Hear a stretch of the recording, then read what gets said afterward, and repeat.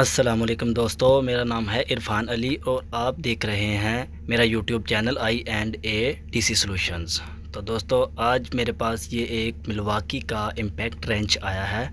जैसा कि आपको दिखाई दे रहा है कि इसमें जो स्विच है, वो नहीं है।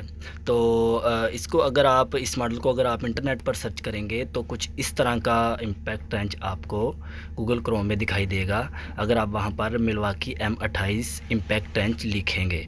तो चलिए दोस्तों, इस इम्पैक्ट रेंच को मैं आपको खोल कर दिखाता हूँ कि इसके अंदर अंदर क्या है।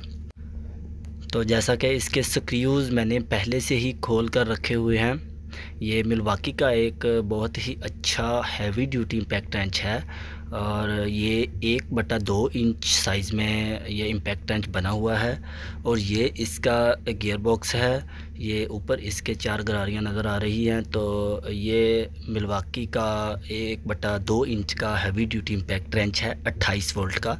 इस, ये 28 वोल्ट की बैटरी में आता है और ये इसकी मोटर है, आपको जैसा कि नज़र आ रही है, काफ़ी हैवी ड्यूटी मोटर है और इसके जो कार्बन ब्रश हैं, वो भी काफ़ी तगड़े लगे हुए हैं।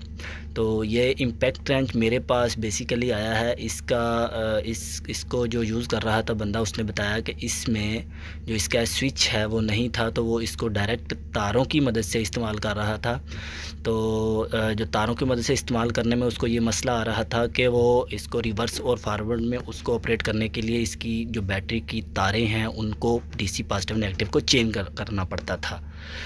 तो हमने फिर इसमें एक प्रॉपर स्विच लगा दिया। जैसा कि ये वाला स्विच मार्केट से मिल जाएगा आपको। ये टू वे टॉगल स्विच है सिंपल पंद्रह एम्पेयर का। तो उन, उन इसके ओरिजिनल बटन की जगह पर मैंने ये जो टॉगल स्विच है इसको एडजस्ट कर दिया है। और ये मैं आपको दिखा देता हूँ कि मैंने इसको किस तरह एडजस्ट किया है। ये देख लीजिए। इसकी दो तारें निकाल दी गई हैं और इसका जो स्विच है वो कामयाबी के साथ इसमें लगा दिया गया है और इसमें आपको जैसा कि नज़र आ रहा होगा कि स्विच का सेंटर पॉइंट जो है वहाँ पर कोई भी स्क्रू नहीं लगा हुआ। वो इसलिए नहीं लगाया गया क्योंकि हम उस स्विच की जगह पर जो है वो उस सेंटर पॉइंट की जगह पर हम बाहर से क्रॉस स्क्रू लगाएँगे जो कि बटन को फिट करने में काफ़ी मदद देगा, जिससे बटन आसानी से इसके अंदर फिट हो जाएगा और इस पॉइंट से हम सोल्ड करके तारें निकाल लेंगे। तो जो सेंटर पॉइंट्स हैं, उनसे हमने सोल्डरिंग के ज़रिए तारें निकालनी हैं। बाकी ये स्विच बड़ी बड़े आराम से इसकी ओरिजिनल फिटिंग के अंदर पूरा आ जाएगा। तो ये स्विच कुछ इस तरह लगा हुआ नज़र आएगा और ये स्क्रू भी कुछ इस तरह लगा हुआ नज़र आएगा, जैसे मैं आपको दिखा रहा हूँ।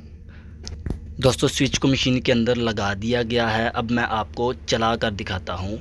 बट स्विच को नीचे की जानब पुश करेंगे तो मशीन रिवर्स डायरेक्शन में चलेगी और ऊपर की तरफ़ जब हम इसको पुश करेंगे तो ये फारवर्ड डायरेक्शन में चलेगी। स्विच को मशीन में किस तरह लगाना है उसकी कनेक्शन डायग्राम मैं आपको ये दिखा रहा हूँ। दोस्तों, वीडियो अच्छी लगे तो लाइक कीजिए और मज़ीद वीडियो देखने के लिए मेरे चैनल को सब्सक्राइब कीजिए।